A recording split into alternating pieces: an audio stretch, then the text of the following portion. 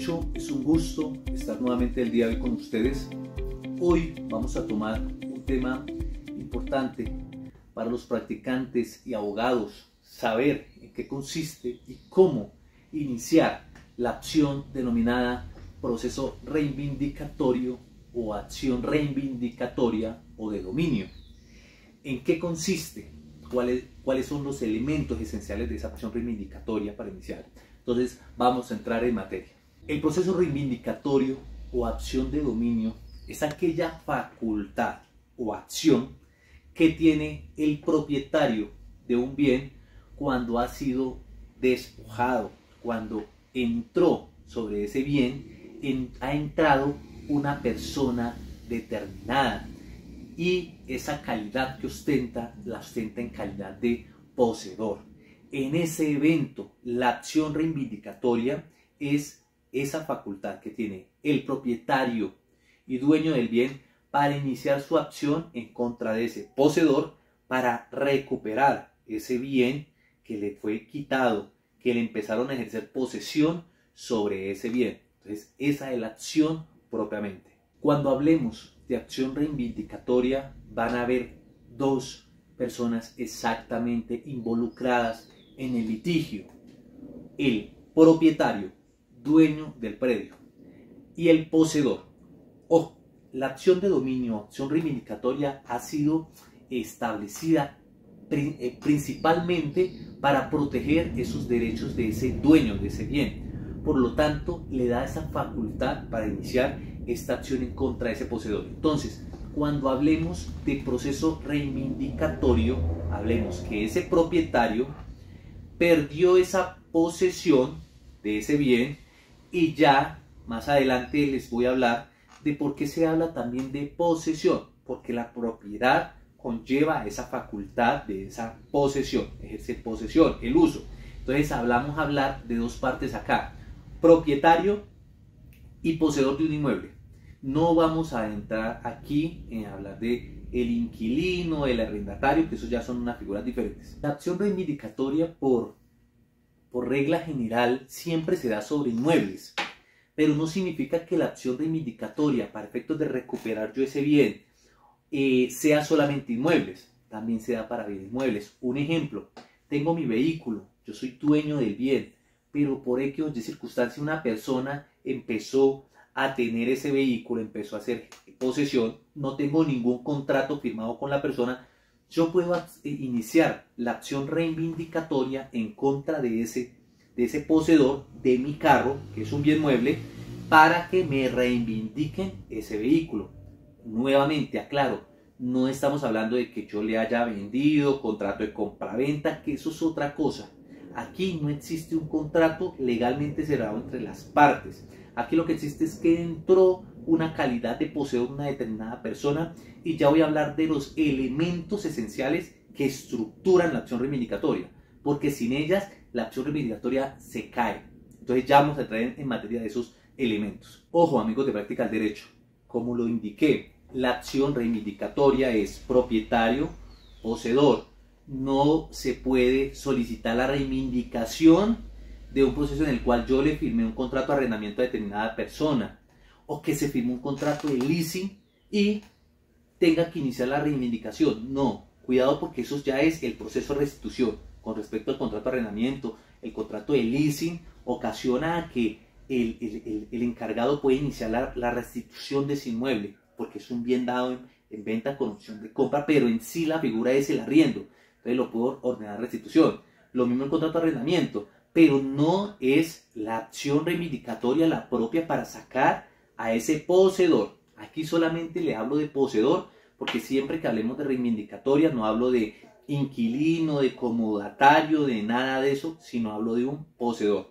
Y ya vamos a entrar a hablar de cuáles son los elementos un poco pequeñitos de los que ejercen la posesión para hablar de que yo puedo iniciar la acción reivindicatoria en contra de esa persona. Ese poseedor que voy a demandar es un poseedor que puede ser de buena o mala fe el Código Civil establece que un poseedor puede ser de buena o mala fe y para eso se inicia esa acción en contra de ese poseedor de buena o mala fe indistintamente. Entendamos el poseedor como esa persona que ingresa a un predio con ánimo de señor y dueño, que se quiere adueñar del bien, que entra y que empezó a ejercer unos, unas mejoras, empezó a usufructuar el bien, y eso lo empezó a convertir en un poseedor.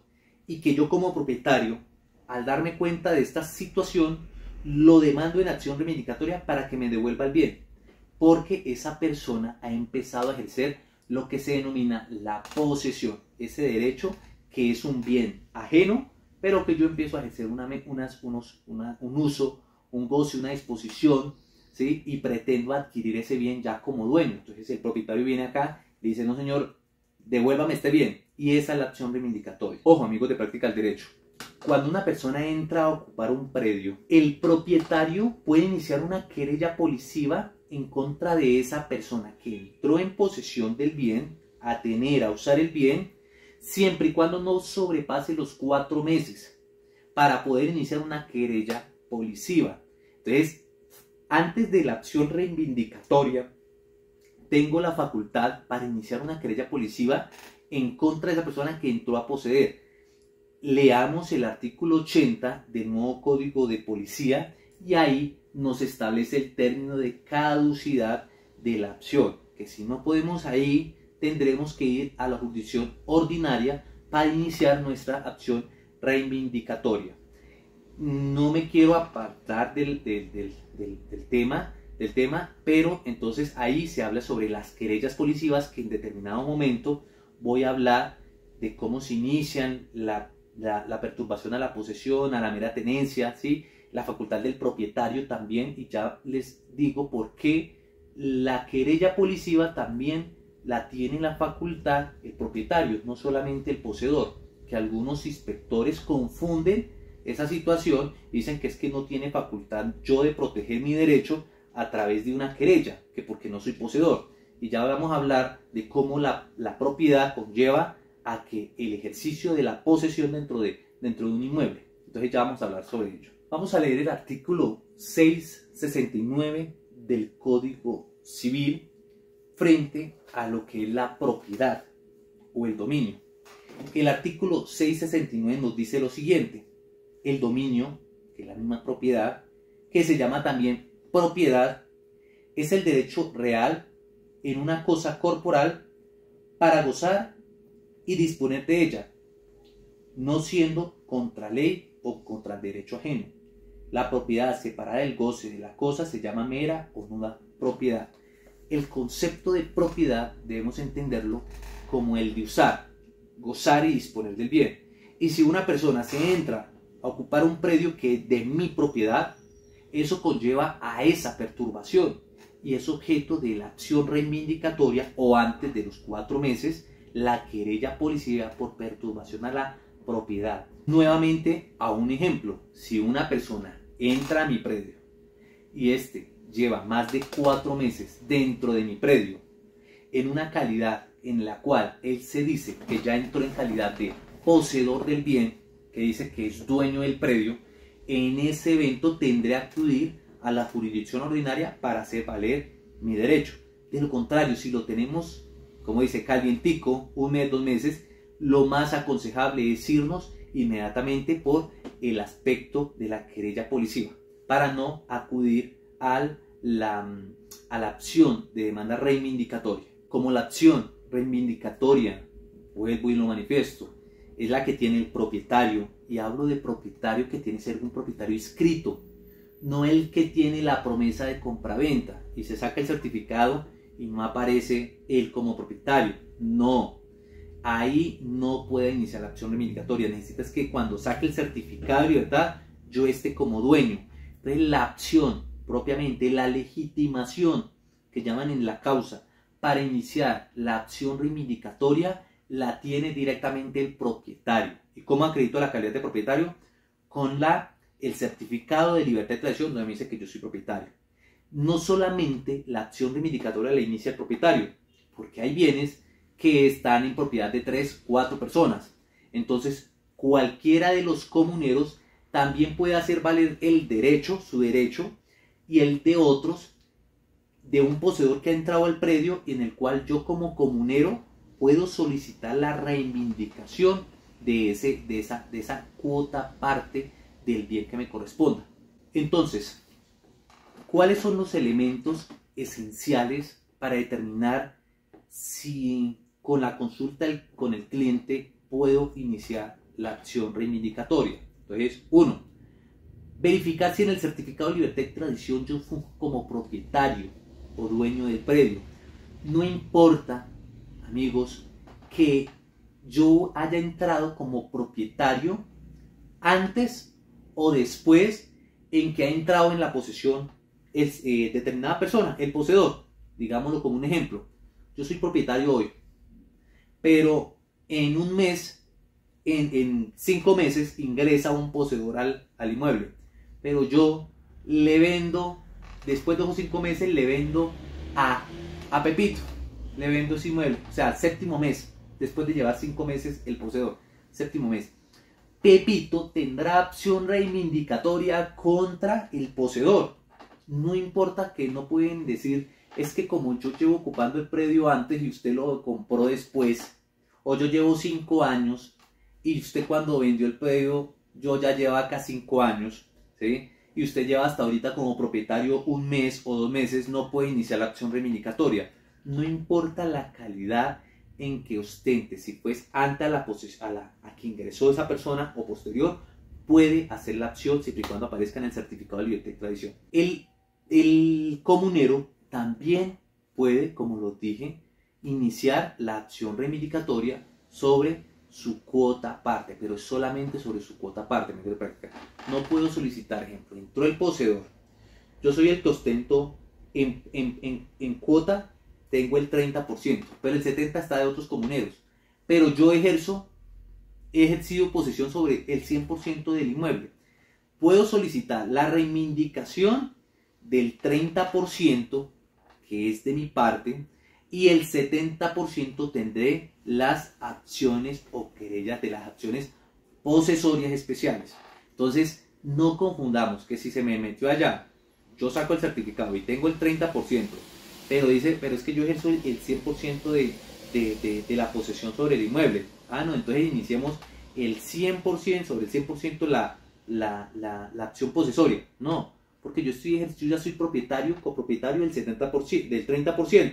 Entonces hay un 70% que no es de mi propiedad, pero que puedo protegerla a través de la acción posesoria. ¿Por qué? Porque la norma me establece que yo tengo que iniciar mi acción con respecto a la cuota parte o común y pro indiviso de mi propiedad. Entonces no lo puedo hacer bajo el 100% de la propiedad porque le deslegitima la opción que es la que tiene el propietario inscrito. Entonces no puedo yo iniciar la, la reivindicación sobre el 100%, sino sobre la cuota parte que me corresponde. Otro elemento para saber que puedo iniciar la acción reivindicatoria es la calidad de poseedor de esa persona. El tratadista Alfonso Rivera Martínez, en una de sus obras de práctica procesal, o perdón, de derecho procesal civil, establece que en la propiedad va en curso la posesión.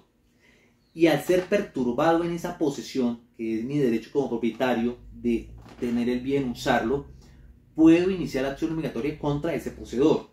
Y esa persona debe ser un poseedor, no puede ser una persona con el cual yo le inicie el contrato de arrendamiento, que le dé un comodato, nada de eso, tiene que ser un legítimo poseedor que haya adquirido y que se legitime como tal. Por eso, en los interrogatorios de parte, cuando empieza el proceso reivindicatorio, acostumbro a hacer las preguntas no solo al demandado, sino al, al, a los testigos de que si esa persona tiene la calidad de poseedor, que si tiene algún contrato firmado con el señor demandante.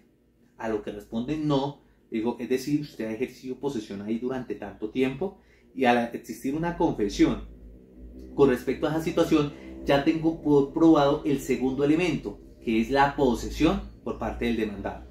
Una cosa muy común que dicen, ¿qué pasa si es que yo soy propietario de ese lote y nunca he hecho nada y llegó esa persona y dijo, pero es que usted eh, nunca ha hecho nada, yo me metí allá y usted ya perdió porque ya lleva 5 años, 3 años, 7 años, ya usted no tiene derecho. No, la acción reivindicatoria ¿sí? busca precisamente eso, que no importa que yo tenga mi lote allá, así lo tenga desocupado, quietico, es mi propiedad.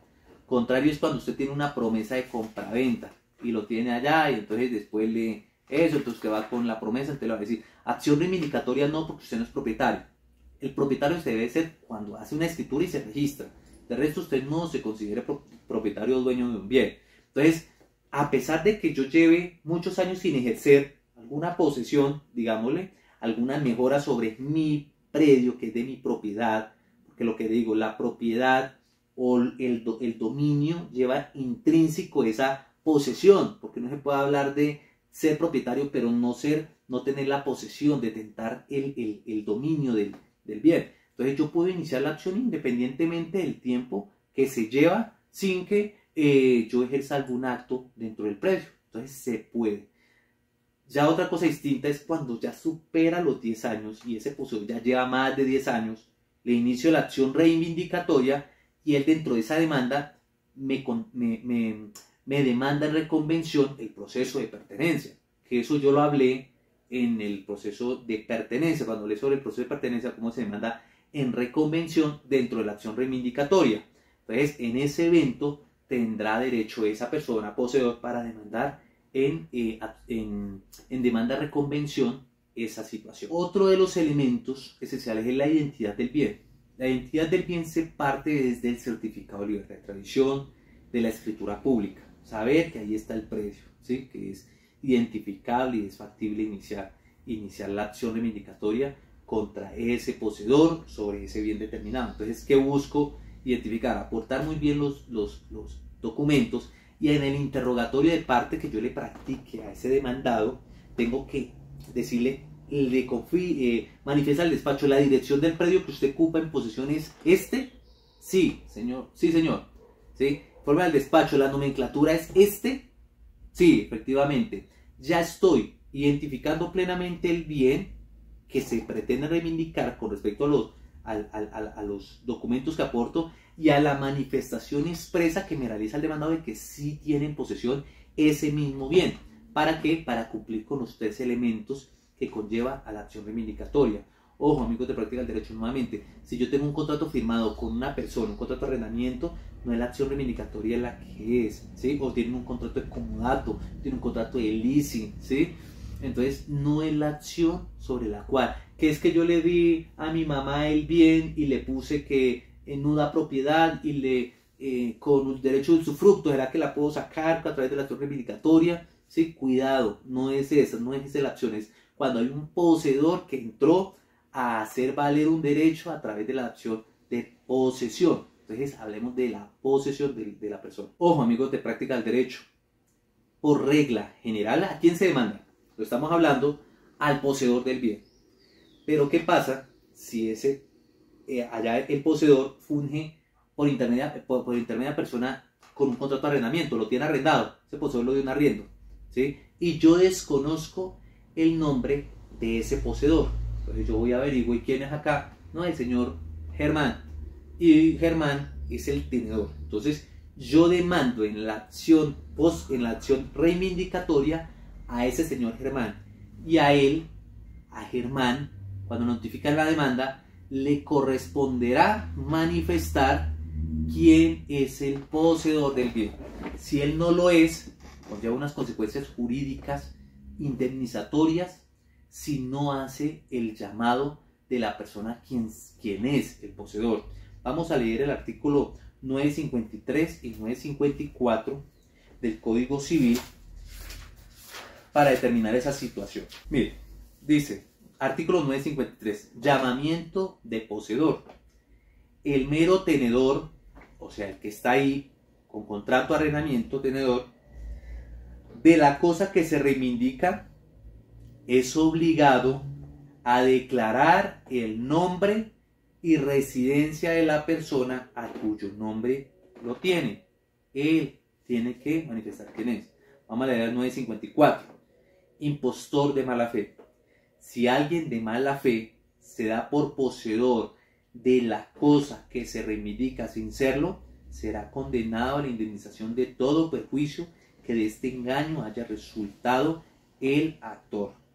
La, eh, a una persona que se hace pasar como poseedora del inmueble. Entonces, amigos de práctica del derecho, por regla general se demanda al poseedor actual. ¿Listo? Partamos de eso. Si no se tiene el poseedor porque está allá un tenedor, dice, no, es que yo estoy arriendo acá, pero no sabemos el nombre del poseedor, demando al que está ahí en el, en el inmueble. De pronto lo enuncio en la demanda, o sea, en contra del señor fulano de tal, de quien se dice tenedor, pero que conforme al artículo 953 haga el llamamiento a quien se dice poseedor. Puedo demandar también, amigos de práctica, al, al que vendió, al anterior. Y voy a iniciar mi acción reivindicatoria pero me entero que el que era poseedor era el señor Germán y no Pablo. Puedo demandar directamente a Germán. ¿Por qué? Basado en el artículo 957 del Código Civil, vamos a leerlo. 957. Reivindicación contra el anterior poseedor de mala fe. Contra el que poseía de mala fe y por hecho culpa suya ha dejado de poseer, podrá intentarse la acción de dominio como si actualmente la poseyera. Ahí está. ¿sí? Y también se puede dar la posición con respecto a eh, que, eh, la posición de quien, quien vendió. Entonces eh, vamos a leer el 955. 955.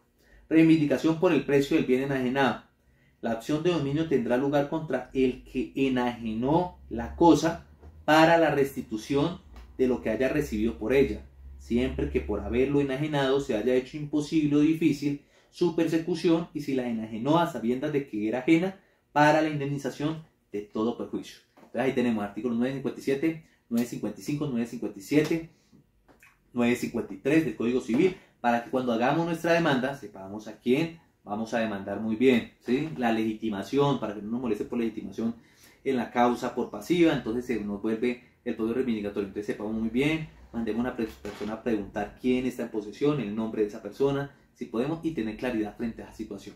La acción reivindicatoria pues se puede dar en contra del poseedor, no importa si es de buena fe, mala fe, no hay necesidad.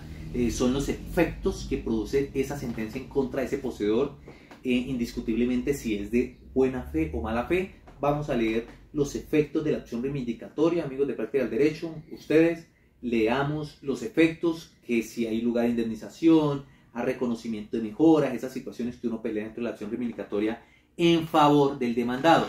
Entonces uno pelea esa parte, que bueno, pese a ello, pues bueno, no, hemos cumplido la, el término de prescripción, tenemos que volverlo, pero nosotros hemos hecho unas mejoras. Entonces uno pelea eso, entonces eso hay dependiendo de la calidad, de la forma en que ingresó esa persona, asimismo eh, la condena indemnizatoria se dará bien sea a favor del uno o del otro.